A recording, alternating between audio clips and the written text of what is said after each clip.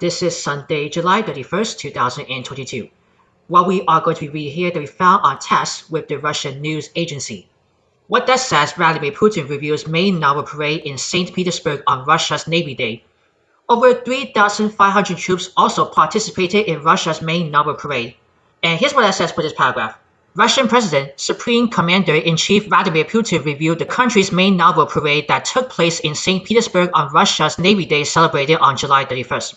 The massive naval parade involved combat ships and gunboats on the Neva River in St. Petersburg and in the Kronstadt roadstead.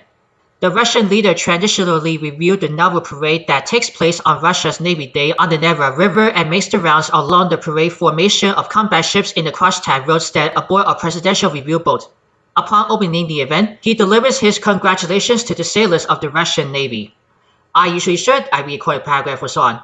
This might be a whole plenty of those article. I'm just keep scrolling down for you. If you want to read more, I'm going to put this link into the description box below right here on the TASS with the Russian news agency.